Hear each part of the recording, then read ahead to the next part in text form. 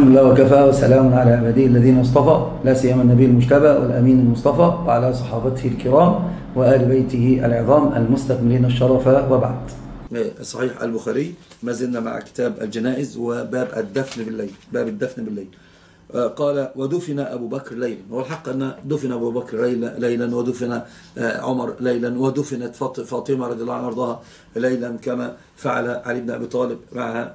الله يرضى عنك سلف أحسن الله عليك. ورفع الله مقامك ونفع بك الأمة الإسلامية. قال المصنف رحمه الله تعالى حدثنا عثمان بن أبي شيبة. عثمان بن أبي شيبة أخو أبو بكر بن أبي شيبة من الثقات الإثبات رواه له الجماعة. لم يثبت عنه ما قيل فيه أنه لم يحفظ القرآن. قال حدثنا جرير. جرير هنا هو عبد الحميد الضبي من الثقات الإثبات. لا روى له الجماعة. قال عن الشيباني ائتوني بالشيباني.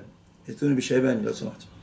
عن الشيباني عن الشعب. الشعبي عامر بن شراحيل من الثقات الإثبات روى له الجماعة. عن ابن عباس رضي الله عنه وأرضاه قال صلى النبي صلى الله عليه وسلم على رجل بعدما دفن بليلة قام هو وأصحابه وكان سأل عنه فقال من هذا؟ فقالوا فلان دفن البارحة. فصلوا عليه. يعني هو لما مر على القبر وقال له دفن أمس أو البارحة. فصلى عليه النبي صلى الله عليه وسلم. وعن عبد الله بن عباس وعن عبد الله أربعة من السبع المكثرين عن النبي الأمين. قد ورد أن الصديق يعني دفن الصديق ليلا فأخرجه أخرجه ابن أبي شيبة عن القاسم بن محمد ثم وروى عن ابن السباق أن عمر دفن دفن أبو بكر. نعم. يكون يكون لم يكتمل يا فيروس. ما, ما, ما يكون قد اكتمل الغسل لابد أن يغسل سبعا ويعفر الثامنة بالتراب. على الخلاف المشهور بين العلماء أن تكون التراب واحدة ملاصقة للسبع أم هي واحدة مستقلة والحق أنها واحدة مستقلة. لابد لا يكون لا تستتم الطهارة إلا بذلك. طبعا خلاف خلاف المالكية أعلم أنك مالكية. نعم وحديث أبي بكر أخرجه ابن أبي شيبة. نعم. وعن ابن السباق أيضا أن عمر دفن دفن أبا بكر ليلا.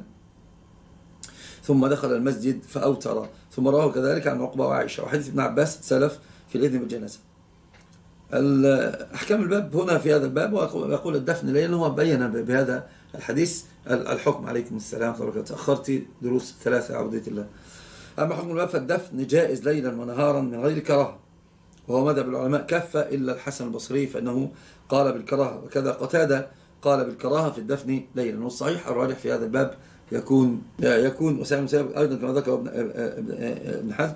يقول في الليل, في الليل قد ورد النهي عن النبي صلى الله عليه وسلم في الغسل أو الدفن ليلا. الحق أن النهي الذي ورد عن النبي صلى الله عليه وسلم في الدفن ليلا معللا بأنهم, بأنهم لم يحسنوا لا يحسنون الغسل ولا التكفين وإسراع الدفن أيضا في الليل فلا يستطيعون الدفن.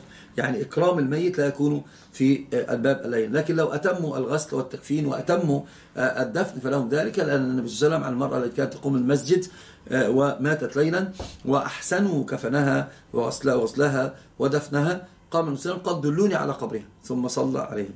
بالنسبة لعضة الكلب يغسل الموضع. نعم الموضع فقط يغسل سبع مرات ويعفر الثامنة بالتراب.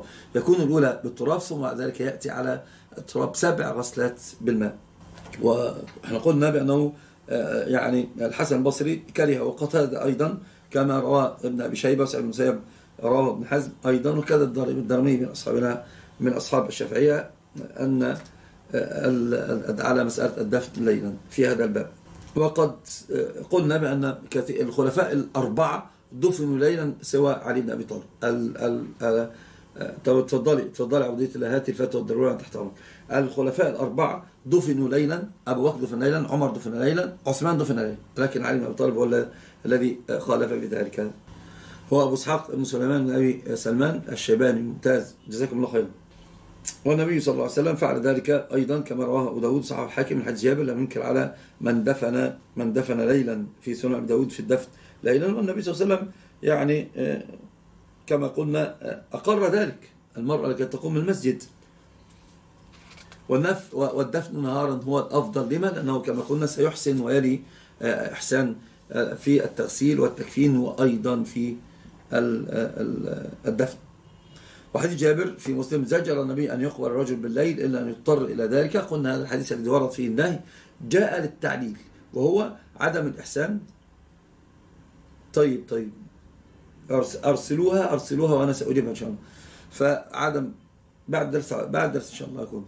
فالتكفين والغسل ليلا هو أن وسلم لما نهى نهى بأنه لن يحسن إلى الميت لا غسلا ولا ولا كفنا ولا أيضا دفنا في الليل.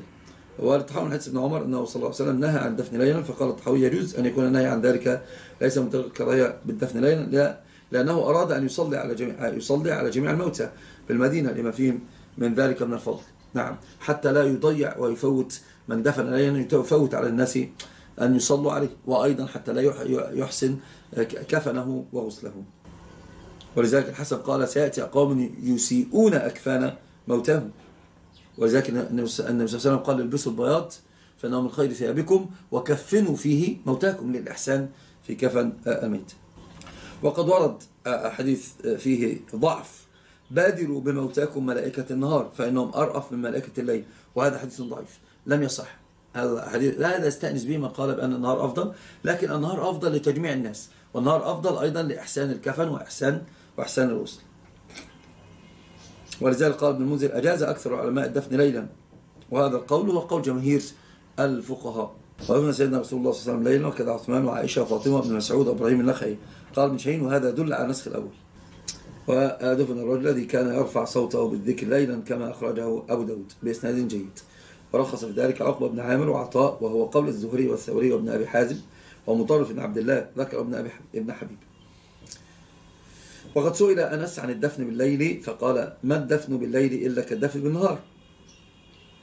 وقد دفن شرح ابنه ليلا والحق قلنا الخلفاء الأربعة دفنوا ليلا سوى علي بن أبي طالب رضي الله عنه وأرضاه. نعم.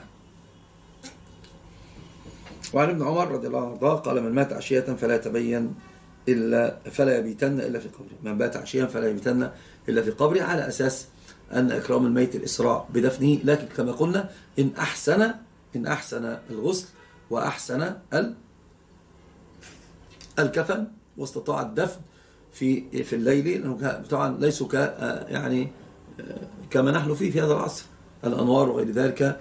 هناك ما كان هناك أنوار يستطيعون بها حسن الدفن ووضع في القبر. لذلك جاء النهي عن الدفن ليلا. الفوائد المستنبطة من هذا الباب. جواز جواز الدفن ليلا إن كان الإحسان للميت إن كان الإحسان للميت. جواز الصلاة على القبر تفقد الولي الرعية تفقد الولي الرعية سواء في الحياة أو في الممات لأن النفع به يكون ظاهرا. طيب لو في أسئلة جمعوا الأسئلة كنت تحت الأمر. رجل ماذا أفعل إذا إذا إذا ظلمت إذا ظلمت شخصا ولم يسامحني. أكثر له من الدعاء وحاول أن أن أن أن أن تتصدق عنه وحاول أن تأتي إلى المجالس التي أسأت إليه فيها فتغدق الثناء عليه. وقدر الإمكان اذهب إلى حاجته فسدها فاقضها.